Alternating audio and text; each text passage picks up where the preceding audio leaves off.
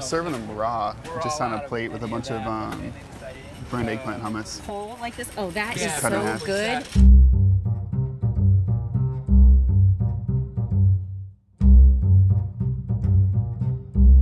If it's not here, it's not like I'm gonna order it from California. It's just not on the menu.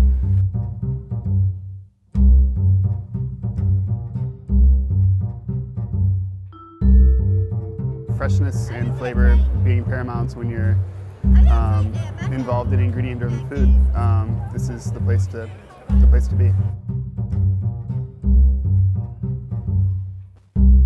to talk about the needs that we have for plant breeding.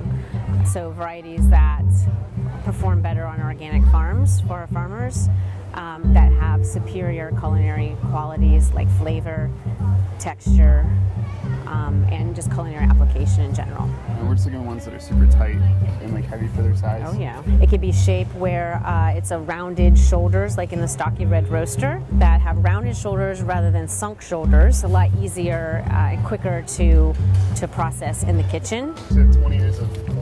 I've had this variety before. It's super sweet, and um, Chris and Amy over at Square Peg have very, very high standards on what they'll even bring to the market.